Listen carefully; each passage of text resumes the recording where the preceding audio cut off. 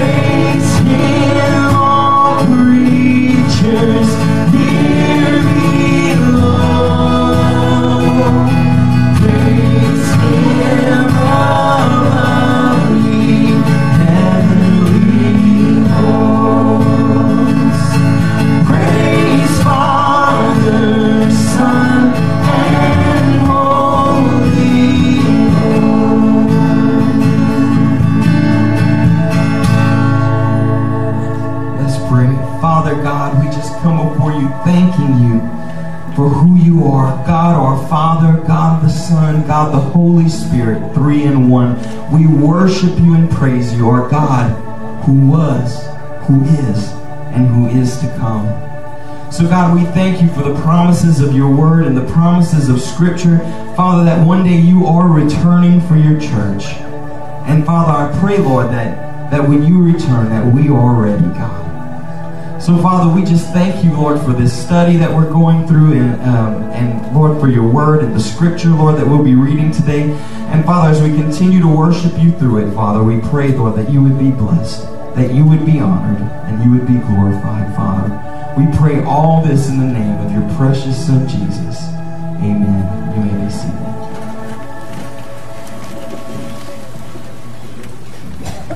Wow, great worship this morning, guys. Let's give him a hand. Let me tell you, I've been reading through Revelation 5 where all those songs came from that chapter. And uh, man, what, what, what a thrill to, to be able to sing those things. And that song, I, how many of y'all just love that song, I believe in you? Just, I mean, I, I can hardly get through that song. It's so awesome because that's what we believe.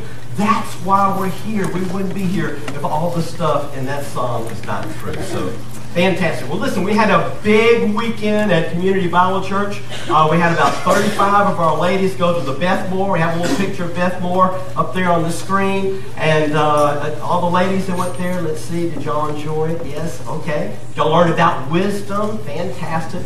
And not only that, we had about 40 guys and gals uh, go out from our church to do some flood relief in Watson, uh, Louisiana, and also at our financial secretary's house, Barbara Thomas, at their house.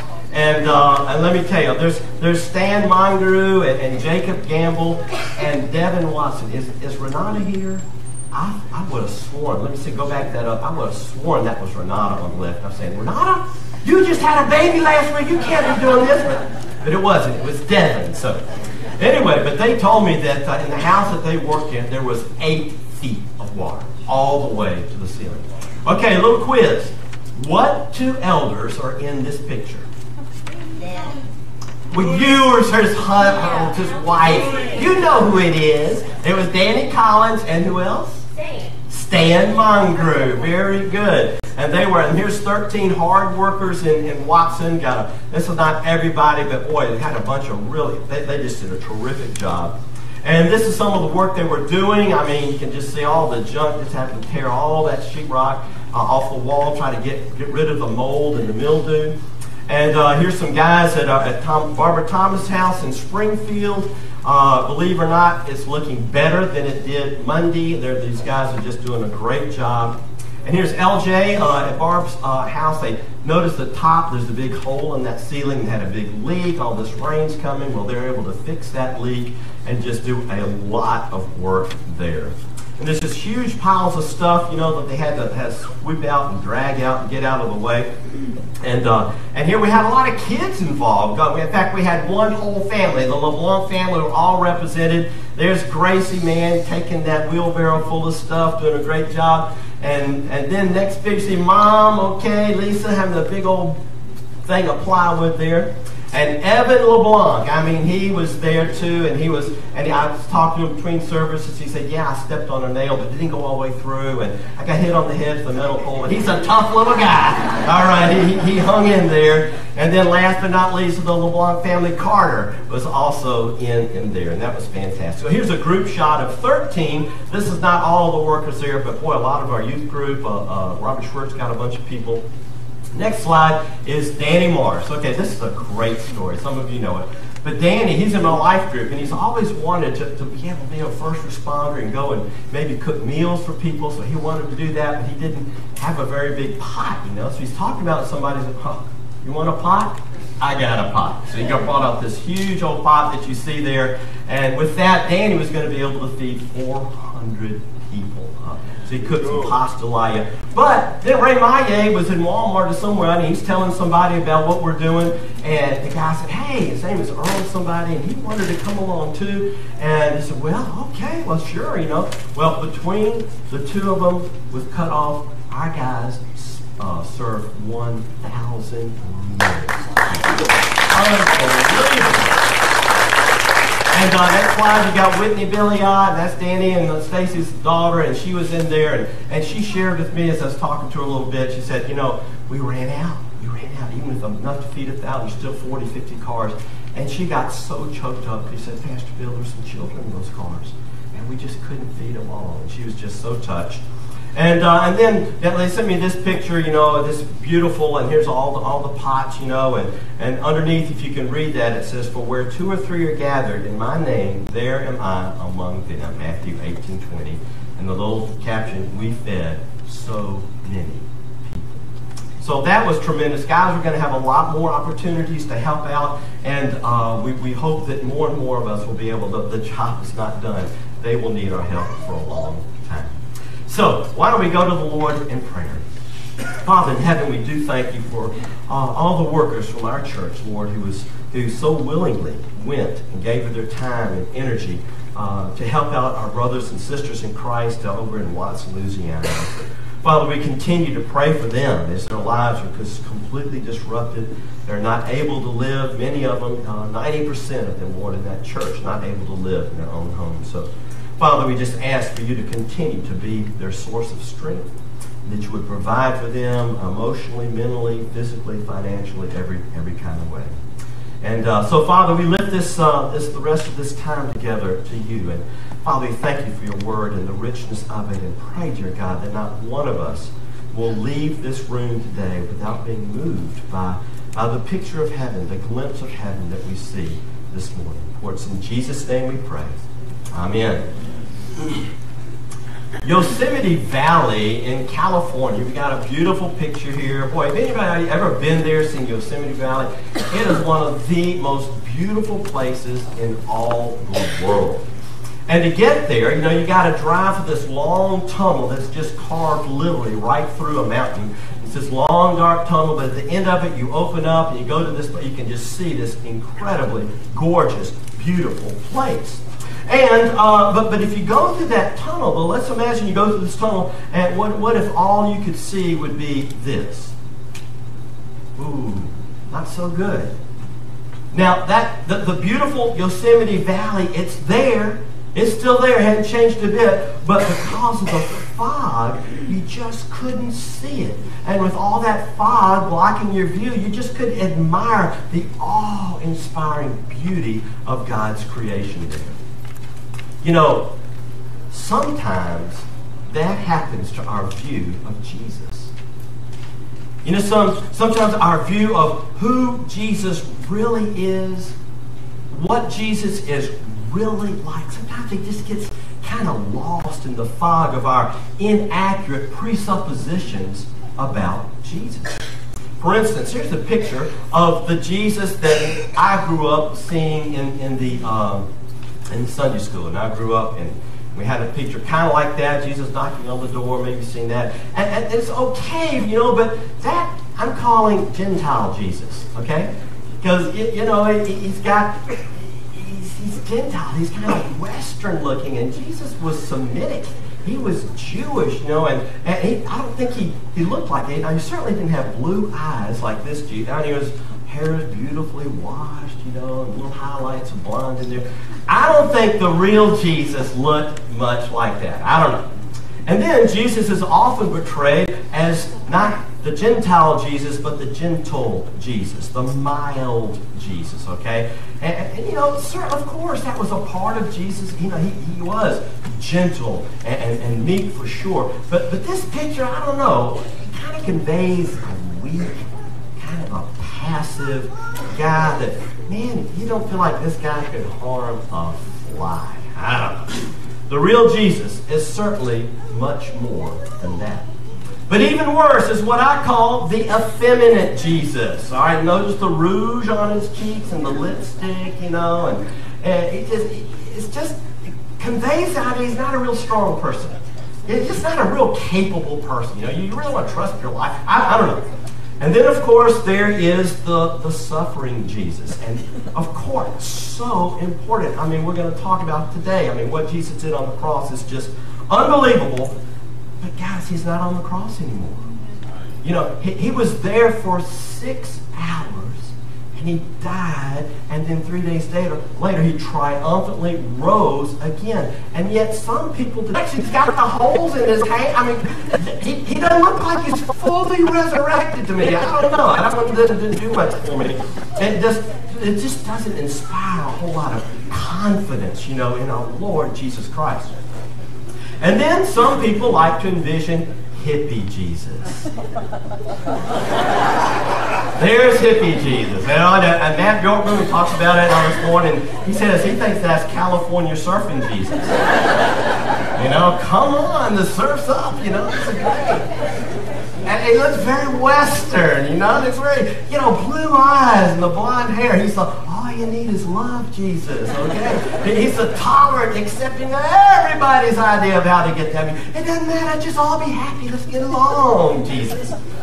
But this too, it's a very foggy view of what the real Jesus is really all about.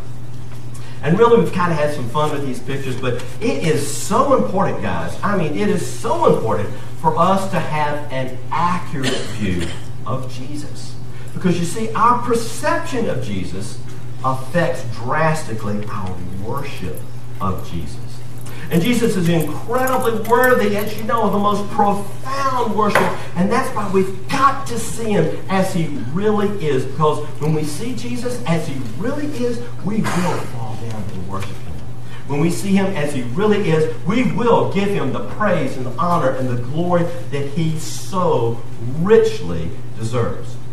So this morning, as we turn to chapter 5 of the book of Revelation, we are going to get buckle your seatbelts. We're going to get an exquisite view of the real Jesus, how he really is. We're going to see who Jesus is. We're going to see what he is really like. And when we do, I guarantee you, we will be moved to worship that Jesus. So, why do we worship Jesus? That's basically the, the question we want to answer this morning. Why do we worship Jesus? And uh, several reasons. First of all, from this passage, because he is able to open the scroll. So if you got your Bibles, if you want to grab a little Bible in the pew, pew rack there, follow along. Last book in the Bible, chapter 5, right after 4. And uh, last week we were in chapter 4. And we saw that John was transported into heavenlies, and it was just unbelievable, and just, you know, just all these colors and this incredible rainbow and the living creature, all that. Same scene. This is the same exact scene. You know, so it goes flows right from uh, Revelation 4 right into the events of Revelation 5. We're once again in the throne room of heaven. So, Revelations, flesh you. Uh, chapter 5, verses 1 to 5, we read. Then I saw in the right hand of him who sat on the throne a scroll with writing on both sides and sealed with seven seals.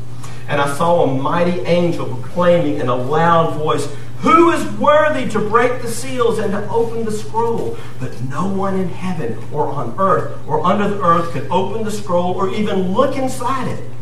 I wept and wept, says John, because no one was found who was worthy to open the scroll or look inside. And then one of the elders said to me, Do not weep. See, the lion of the tribe of Judah, the root of David, has triumphed. He is able to open the scroll and its seven seals. Now, to a 21st century American, this scene makes absolutely no sense whatsoever. What in the world is a scroll with seven seals? What's that all about?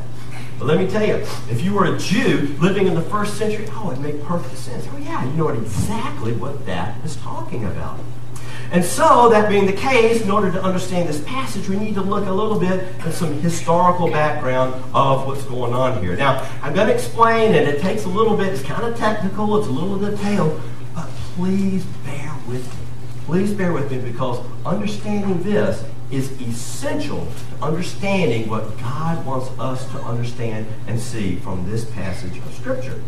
So, according to the Old Testament law, if the land or inheritance of a Jewish person was lost, a close relative, somebody in his family, a close relative, could buy it back again for that person.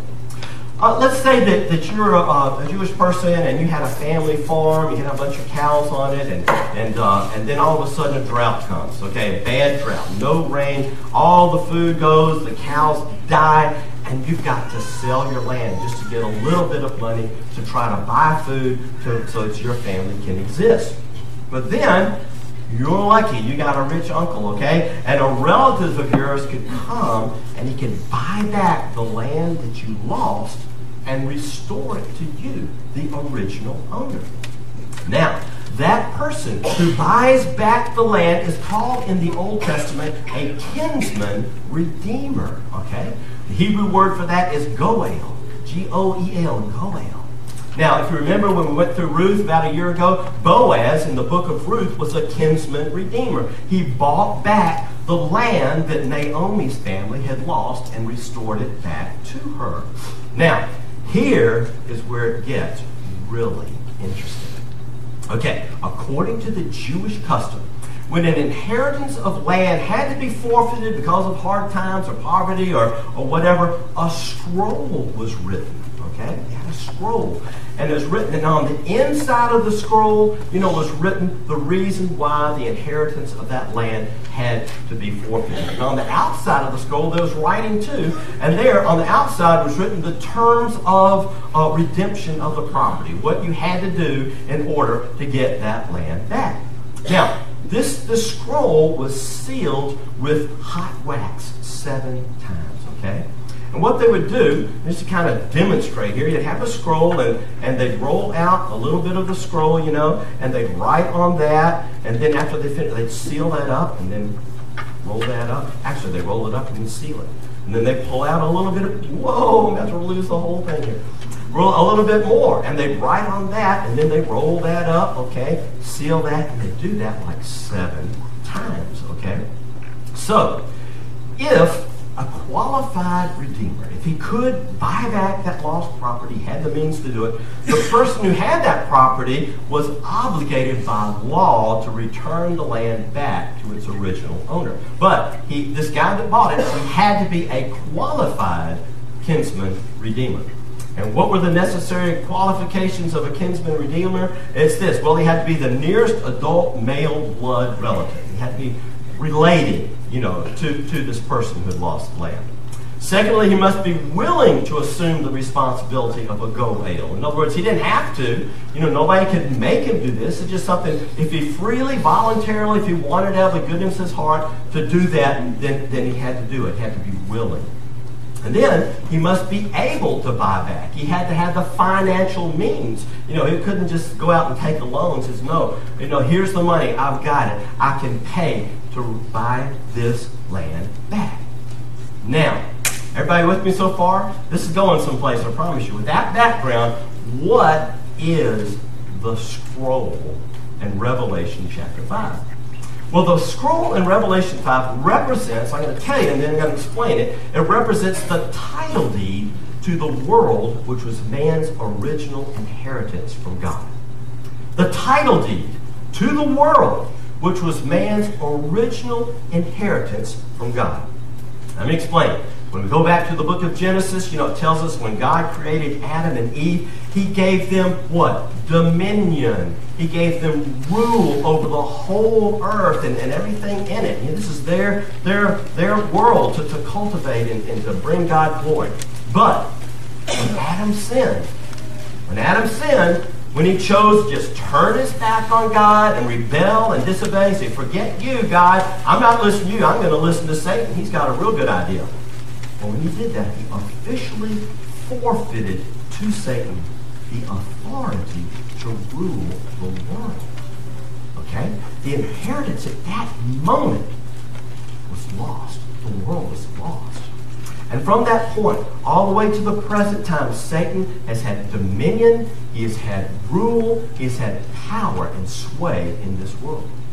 And I'm just not making this up, guys. I mean, three times in the upper room, the night before Jesus was crucified, Jesus refers to Satan as what? As the prince of the world. Three times, the prince of the world. And let me tell you guys, what a living hell the prince of Satan, the prince Satan has made of this earth. You know it better than I do. It's a lost world. It's a fallen world. It's a world full of cruelty and wars and, and hatred. It's a world full of sickness and famine. It is a world where death eventually destroys all life. Everything dies in this world. Everything.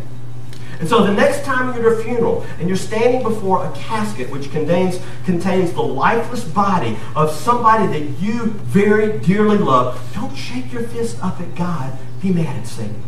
Be mad at Satan.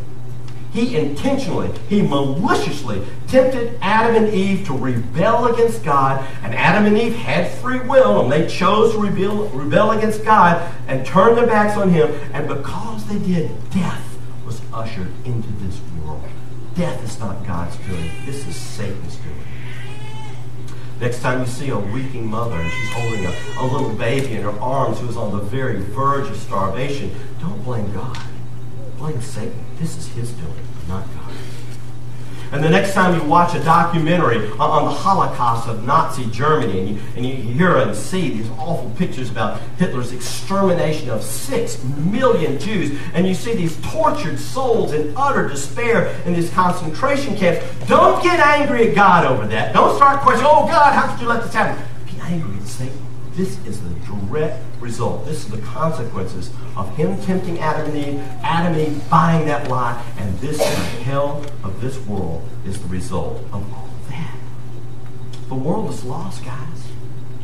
It had been forfeit. This is not the world God originally intended it to be. And only, only a qualified, worthy Redeemer can buy back this lost inheritance and can restore it back to its original owners in its original glory. Only He, only that one qualified Redeemer could walk up and could take the scroll, break the seven seals, and redeem our lost world. Okay, verse 2. A mighty angel in heaven cries out, Who is worthy to break the seals and open the scroll? But heaven was deathly silent. Not a word. Nobody heaven, no angel, no nobody on earth, no, no great person, nobody, nobody anywhere in the universe could open that scroll. And so John just loses it. I mean, he just breaks down. He begins to weep uncontrollably. After all, you know, the, the church in, in, John's day was being terribly persecuted, and churches were messing up, doing all kinds of stuff. He didn't know. He just didn't know what was going to happen, and he's weeping, and, and, he, and he's just torn up. Dr. Criswell was a, a Baptist minister in First, First, First Baptist Church in Dallas.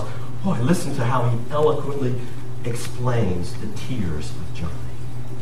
John's tears represent the tears of all of God's people through all the centuries. They're the tears of Adam and Eve as they view the still form of their dead son Abel and sense the awful consequence of their disobedience. They are the tears of the children of Israel in bondage as they cry to God for deliverance from their affliction and slavery. They're the sobs and tears wrung from the heart and soul of God's people as they've stood beside the graves of loved ones and experienced the indescribable heartaches and disappointments of life. Such is the curse that sin has laid upon God's beautiful creation. No wonder. No wonder John is just overcome with tears. Because you see, if no Redeemer could be found to, you know, to, uh, to remove that curse, it meant that God's creation was forever doomed to remain under the power, under the sway uh, of our deadly enemy, Satan. But then in verse 5, we read, Then one of the elders said to me, Do not weep. See the lion, the tribe of Judah, uh, the root of David has triumphed. He is able to open the scroll and its seven seals. You see, guys, there is one person. There is one person who can open that scroll and break the seals. His name is Jesus. Jesus is the one and only kinsman redeemer. He's the only person in the universe who can buy back our lost and dying world and make it all right again.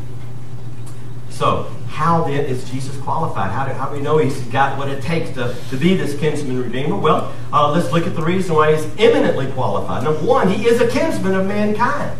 Okay, he didn't. He wasn't just staying up in heaven as God. He came down and became a man. A man. John 1.14, the Word, Jesus, became flesh made his dwelling upon. He joined the ranks of humanity. Hebrews 2.14, boy, this beautifully explains it. It says, Because God's children are human beings made of flesh and blood, the Son, Jesus, also became flesh and blood. For only, listen to this, only as a human being could he die, and only by dying could he break the power of the devil who had the power. Well, he was qualified as a kinsman, and he's also qualified to be the kinsman redeemer because he was willing to be our redeemer.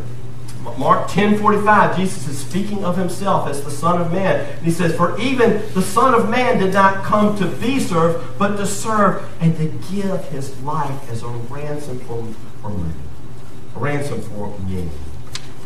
Kinsman Redeemer had to have the ability to pay. He had to have the funds necessary to pay the price for that land. And that price, the sacrifice necessary to, to purchase this entire world, had to be a perfect sacrifice. So, number three, Jesus, uh, third qualification, being without sin, he is the perfect, unblemished, sacrificial lamb. 1 Peter 1.22, he committed no sin, no deceit was found in his mouth. He was perfect. But 1 John 3.5, but you know that he appeared so that he might take away our sins, and in him is no sin. And in John 1.29, I love this verse. The next day, John the Baptist saw Jesus coming towards him and says, Look, the Lamb of God who comes to take away the sin of the world. Guys, the one person, the one qualified kinsman redeemer who could save this world was none other than, than the Messiah. And Judah was from the tribe of King David. Uh, well, King David was from the tribe of Judah. And Judah was the tribe from which the Messiah had to come, according to Old Testament prophecy. And Jesus, he is the lion of the tribe of Judah. And also, he is a descendant of David. And last thing, last thing that qualifies Jesus to take the scroll and open it is because he triumphed over sin and death. Yes, he died on the cross, but let me tell you, he didn't stay in the grave. He rose again and just defeated sin and death. Apostle Paul puts it beautifully in 1 Corinthians 15. The sting of death is sin. And the power of sin is the law. But thanks be to God, He gives us the victory through our Lord Jesus Christ. So, guys, this is the first reason why we are to worship Jesus because He and He alone is able to open that scroll. He and He alone is the only way that this sorry, lost world of ours uh, can, can be delivered. He's the only way, the only person who can relieve the stranglehold that Satan has on us and our world. Jesus is worthy to be praised and worshiped, that's just the first reason. There's another reason why we worship Jesus, and that is because he is fully God. Fully God. Now, at this point, this is so dramatic. At this point, a fascinating thing happens. Because, see, John has been weeping and weeping, and one of the 24 elders comes over to encourage him. And John is looking at the elder, and, and he's telling him and listening to him. And when John hears from this elder that the mighty Messiah will open the scroll, is going to be there, he turns to look for himself, fully expecting the Lion of Judah, a big, powerful, roaring lion. But instead, what does he see? Verse 6 Then I saw a lamb and the Greek word is the diminutive form. It looks like a little lamb, a, a, a, pet lamb almost. Then I saw a lamb looking as if it had been slain, standing in the center of the throne, encircled by the four living creatures and the elders. And he had seven horns and seven eyes, which are the seven spirits of God sent out into all the earth. Now, guys, when we get to heaven, Jesus is not going to look like that. Okay, I just want to tell you, he's not going to look like a lamb. He's not going to look like seven eyes and, and all the horns and all. No, this is a picture, a symbolic representation of who Jesus really is, and he, he really is is the Lamb of God. And this lamb, he's looking like he's slain.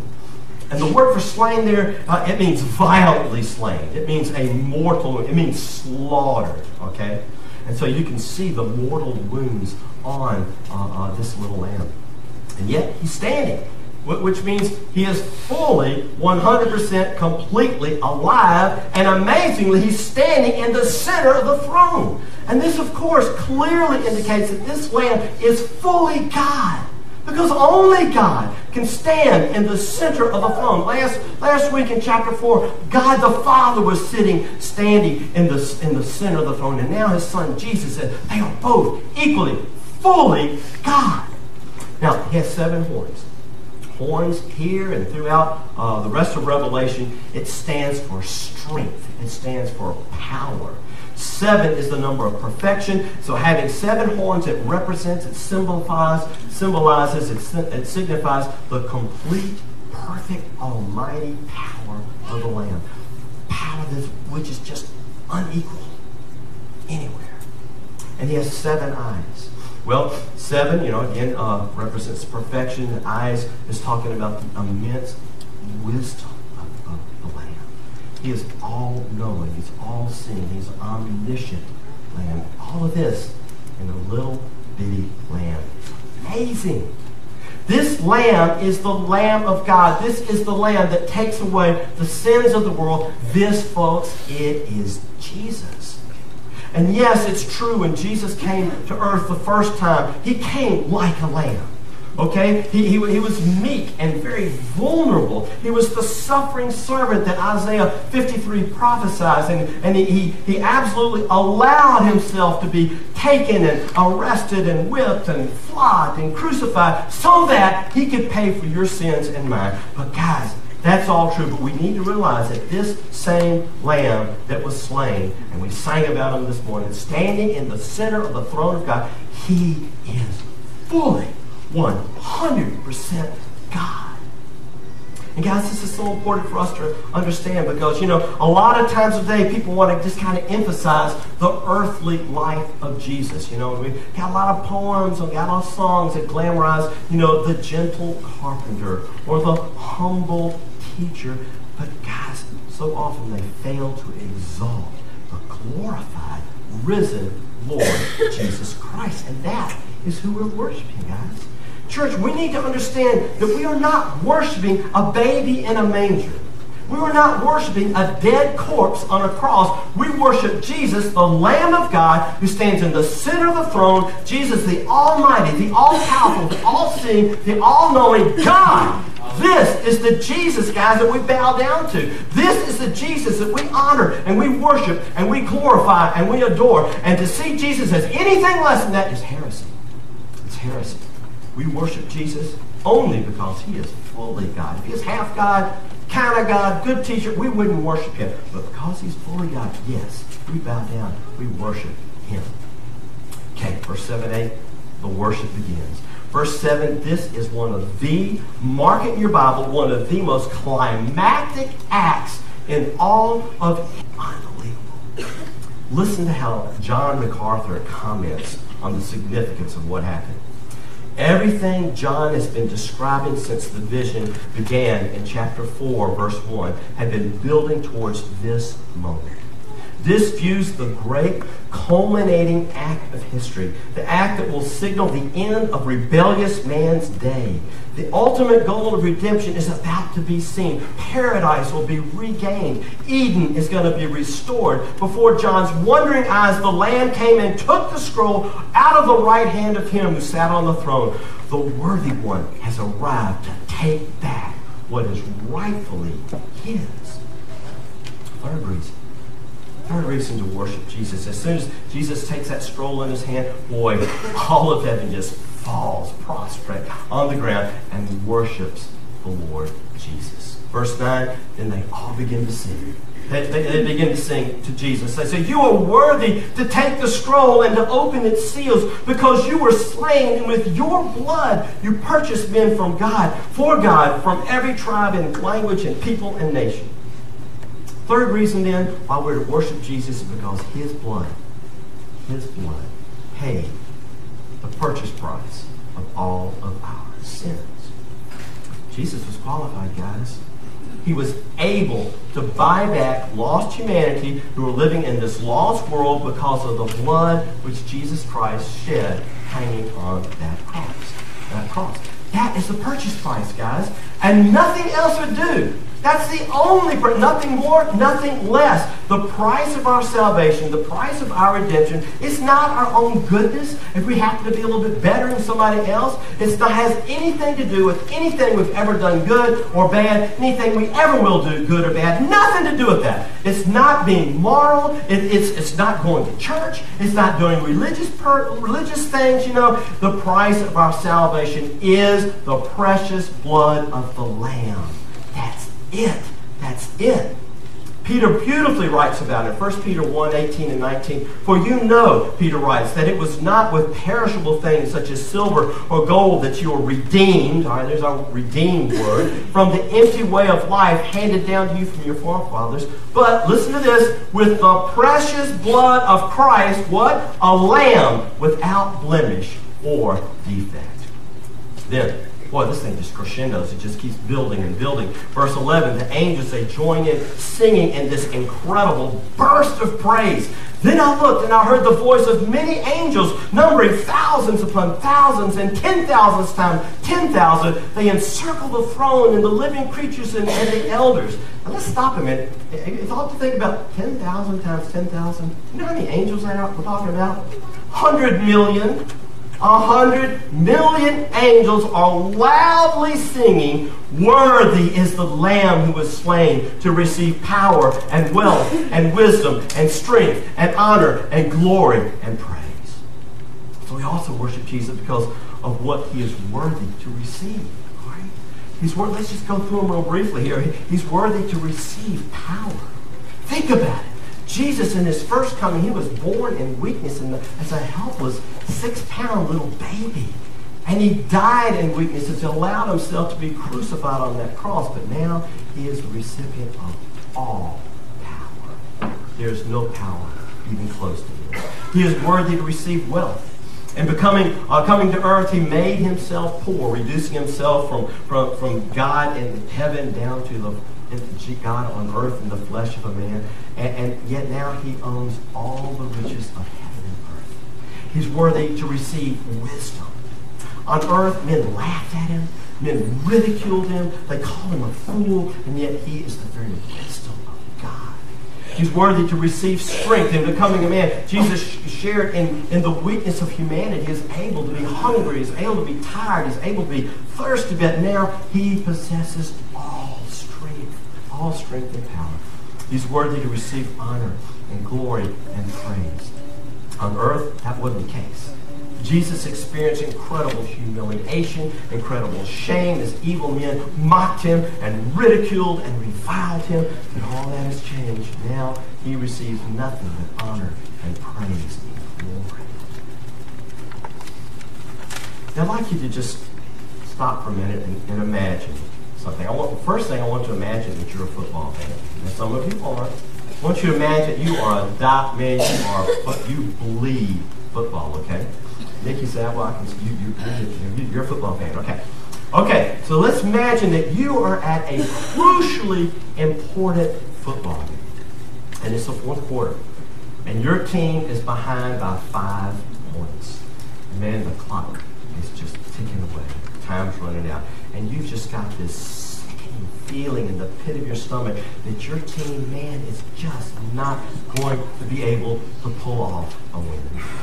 And then there's three minutes left to play. The other team is marching down the field. Looks like they're score again. And then your team intercepts. And your guy runs it back to the opposing team's 40 yard line. And then a few plays later, you're down to the two yard line. And there's only two seconds left on the clock. There's just time for one more play. And as the quarterback gets ready to take the snap, I mean, you can hardly breathe. Hike! And the running back gives it to him. He goes right up the gut. And there's this tremendous surge of the offensive line. And they meet this huge wall of these giant players. And you're just don't, you can't see, you don't know if he's going to make it or not. And then all of a sudden, your guy, he's still got the ball. He makes one more surge. And he goes over the, into the end zone. Touchdown! The game's over. Your team wins. And you and the hometown fans go berserk. And you're cheering wildly. You're hugging complete strangers. You're jumping up and down, and it's just unbelievable. What an awesome ending to a hard fought battle. Now, take all that cheering and celebration going on at the end of that game and multiply it by about a thousand times. And you might have a little inkling of the kind of celebration that is set off in heaven when Jesus, the Lamb that was slain, walks up to his heavenly Father, takes the scroll from his hand, breaks those seals and opens it. See, for thousands of years, guys, Satan has had his way. He, has been marching down the field of this world, and, and over the century, he's brought more pain, more suffering, and more misery to more people than we can even imagine. And ever since the garden, he has cunningly, brilliantly lied and deceived to get people to turn away and rebel against God. And he and his minions have, have just horribly polluted God's paradise. And every day, every day, there, are murders that take place all over the world, and rapes and broken families, and people are hopelessly addicted to drugs and to pornography and to alcohol and sexual immorality and all kinds of addictions. Families are falling apart. Countries go to war. Hundreds of thousands of little children go to sleep every night hungry, not knowing if they're going to be able to eat the next day. And we've got corrupt politicians. We've got jails full of criminals. We've got pedophiles that prey on vulnerable little children. Our world, guys, our world is full of poverty and sickness and crippling diseases. And people are just filled with anger and with rage and with hatred and with prejudice and utter selfishness. And guys, things aren't getting any any better. They seem to be getting worse. There never seems to be an end of it. Satan seems to have the upper hand. Is there any hope? Yes. Look, is there any hope for our world? But then in heaven, Jesus walks over to his Father in the center of the throne and he grabs that scroll. And when he does, heaven just erupts with a deafening roar of cheering and tears of joy and hugs and jumping up and down in tremendous celebration. Why? Because the Lamb wins. Satan's time has run out. It is over. The game is over. Jesus is the death on that cross. He came to purchase price. He paid the ransom for man's sin. And now, guys, he's coming back. He's coming back and getting ready to defeat and obliterate every ounce of evil and wickedness in this whole planet. He's coming back. He's coming back to take back the land that the enemy has stolen. And he's coming back to set up his millennial kingdom where he himself will be in charge and everything is going to be okay. At last, guys, at last, at last, thy kingdom come, thy will be done on earth as it is in heaven. That will be a reality. Then in verse 13, the whole universe joins in the celebration. Then I heard every creature in heaven and on earth and under the earth and on the sea and all that is in them singing, To him who sits on the throne and to the Lamb be praise and honor and glory and power forever and ever. And the four living creatures said, Amen. And the elders fell down and worshiped. Guys, that's the real Jesus. That's what he's really like, and that's the Jesus that, guys, we need to fall down ourselves. Worship. Worship. Let's pray. Father in heaven, we just thank you so much for this stunning scene that we have in heaven. Father, it just gives us hope. And when we look around and just see how bad things are, well, we know that it's not going to be that way forever. That you're coming back. That you're going to grab that scroll and, and you're coming down and you're going to judge all the sin and evil and wickedness. And you're going to come and be our king our ruler, our Messiah. Thank you for that, Father.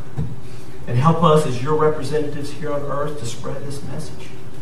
Help us, Lord, to, to, to tell everybody we know, our family, our friends, our people at work, that the only hope of this world is your Son, Jesus, our kinsman redeemer. And Father, I just pray that there's, there's some people here this morning who, who hearing all this would just love one day themselves to be up in heaven and to witness this very thing taking place. God, I pray that, that if they don't know you, they could come to know you right now today. Lord, I just pray that there's somebody that, that maybe goes to church, maybe is religious, maybe kind of goes through the motions, but realize, realize you're kind of empty realize that they still got a hole in their heart that, that nothing else seems to be able to. Lord, I pray for that person that you might just gently move him or her to just stop and talk to you, Lord. And just say to you, God, I want to go to heaven one day. And I want to see this victorious thing that's going to happen. God, I want to be on your side. But Lord, I know that that my sin, no matter how few sins I have or how many sins, that any sin, Lord, of mine separates me from you. But Lord, I see, I, I understand that your Son Jesus, that his blood that was shed on that cross can completely cover my sins and turn my sins uh, into just white as snow. So, Father, I believe this. I believe Jesus is the Son of God, fully God, and I believe that his death did pay for all of my sins. And so, Father, right now, I just want to accept you. I want to receive this free gift of salvation. I want to have you in my life, Jesus, now and until the end of eternity. So come into my life, Father. So, Father, we just thank you for, again, for this, this word from, from Revelation 5. Help it to change us. Help us, help it to help us to have a, a new perspective on just how we live life and what's important and what's not. And we pray it, Father, in the blessed Son of the kinsman Redeemer, our precious Savior, Jesus. Now, if we could all stand and sing the, the last song. and uh, Jordy's going to sing. And, and, listen, have the elders come forward, and uh, we would love to pray for you. Hey, listen, again, if you prayed that prayer, please write a on your Connect card. We'd like to get in touch with you and just kind of help you in some of those first important steps as a, as a new believer. So thanks for coming this morning. I'll see you next week.